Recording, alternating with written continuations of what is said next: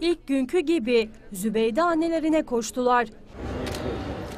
94 yıl sonra özlemle andılar. Özlediyseniz fesi, peçeyi, aydınlığa geceyi, Türkiye Cumhuriyeti'nin kurucusu Mustafa Kemal Atatürk'ün 14 Ocak 1923 tarihinde hayata gözlerini yuman annesi Zübeyde Hanım için Karşıyaka'daki kabri başında anma töreni düzenlendi. Zübeyde anne, sen bize Mustafa Kemal gibi eşsiz bir önderi armağan ederek bir annenin tüm dünyayı değiştirebileceğini gösterdin.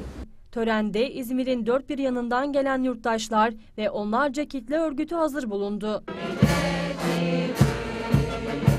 Saygı duruşu ve İstiklal Marşı'nın okunmasıyla başlayan törende anaya yazılan mektuplar okundu. Ölümünün 94. yılında Karşıyaka'mızdaki mezarının başında seni yine özlemle, minnetle anıyoruz.